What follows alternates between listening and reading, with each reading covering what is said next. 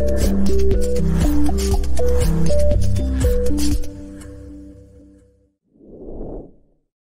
Chad, why don't you take a moment and uh, tell folks about your background and how it is we work together and doesn't so. Sure. So I was uh, when I was growing up, I was told you got to go to school, get good grades, and get a good job or job as we call it, right? And so that's what I did. I went to school. I got great grades. I'm Asian, of course, so I get you know straight A's and good stuff, right? You're really good at math, right? that's right. I was good at math. So, uh, as a lot of many Asians during my time, uh, we uh, were either doctors or engineers, and I became the engineer. Uh, went to college, got good grades again, and uh, got a job as an engineer.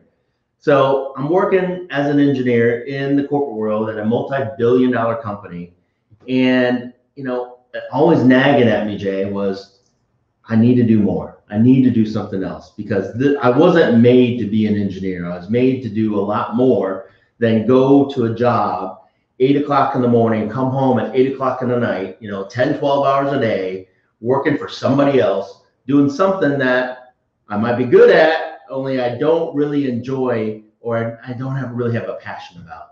So during that time, I uh, decided to start something on the side, and that was my real estate business. Started investing in 2002, and lost a ton of money on my first deal, Jay. I Uh-oh. tell you. There's one big lesson right there. That's a book that I need to write, right? of, of what not to do.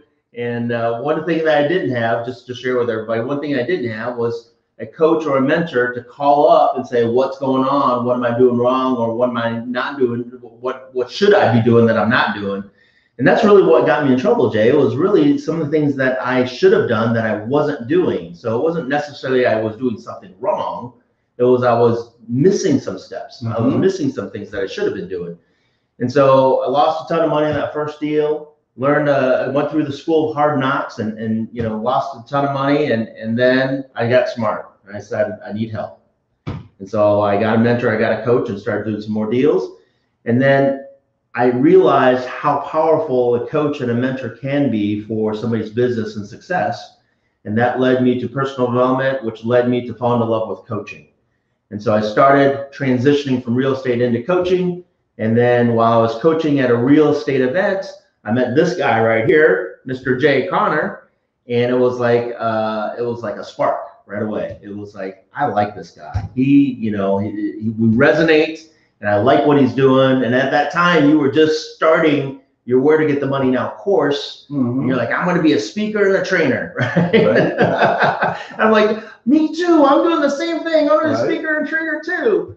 And so we kept in touch over the years, and and then Jay, you started blowing up. I mean, you started teaching and training a whole ton of people. And along the way, he said, "Hey, Chaffee, come join the party." And I was just like, "I'm there. Where am I at? And let's uh, let's join uh, join the party." And You've probably been coming to all of uh, our live events. It's probably been seven years Yeah. or more, seven, eight years, something like that. But yeah, uh, Chaffee is um, helps me run um, my mastermind group as well.